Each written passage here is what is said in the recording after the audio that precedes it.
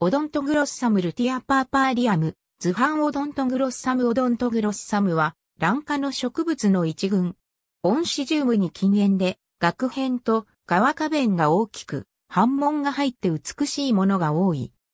洋蘭としても多く栽培されているが、近縁属との属間雑種が多い。オドントグロッサムはオンシジウムに似た着生蘭で、花がはるかに大きい上に模様と色彩が多彩で、鑑賞価値が高い。ヨーロッパでは古くから栽培され、交配も行われた。ただし、中南米の高地林に生育するものが多く、対処性が低い。そのため、日本では栽培が困難で、国内で流通するようになったのは新しい。学名は、オドントとグロッサの組み合わせであり、新弁上面に市場の突起があることによる。園芸的に評価が高く、広く知られている。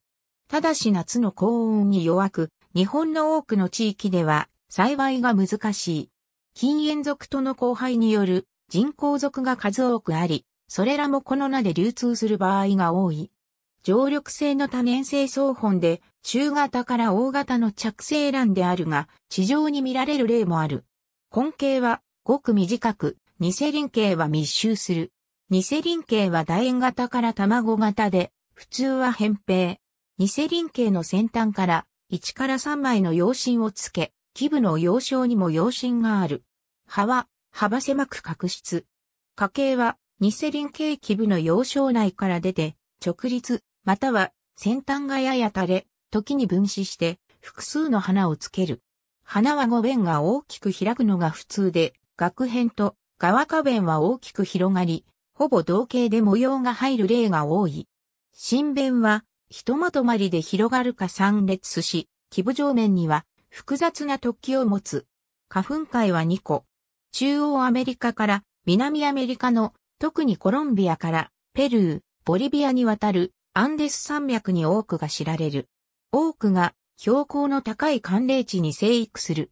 100以上の種が知られ、近年では一部に分離して独立属とする変更もある。美しい洋蘭として評価が高く、よく栽培される。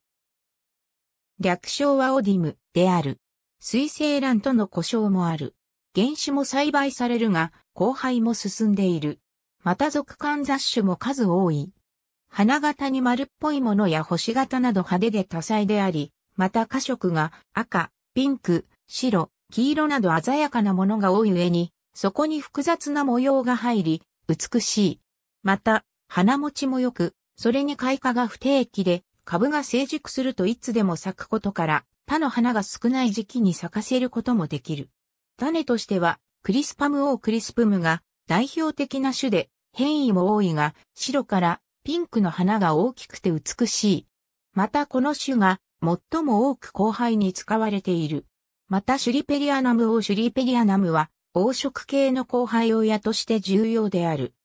他に、プルケイラムオープルケイラムは白い花が上下逆に咲き、その姿がクリオネに似て人気がある。ただし、上系の種を含め、高地産の美霊種は対処性が低く、日本の平地では栽培が困難であった。ヨーロッパでは栽培の歴史が古く、19世紀後半に持ち込まれたのを皮切りに改良が進められた。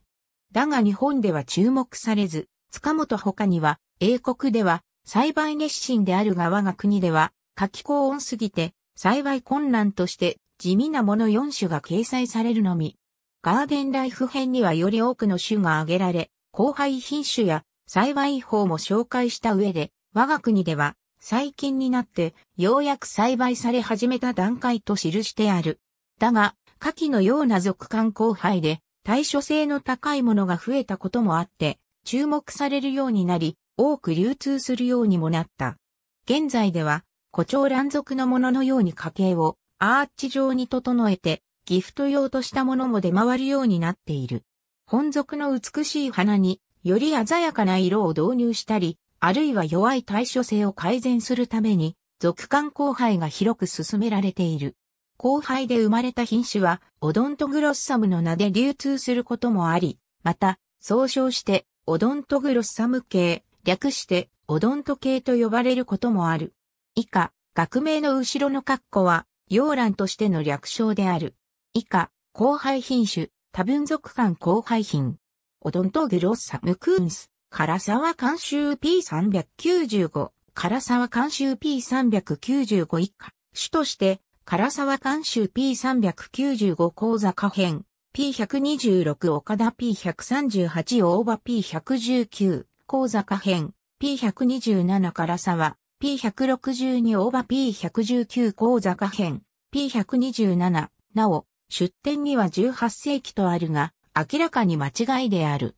塚本ほか、P120、ガーデンライフ編、P211 岡田 P138 大場 P119、唐沢監修 P48、唐沢監修 P346、唐沢監修 P390、唐沢監修 P392 から393、唐沢監修 P630、唐沢監修 P632。ありがとうございます。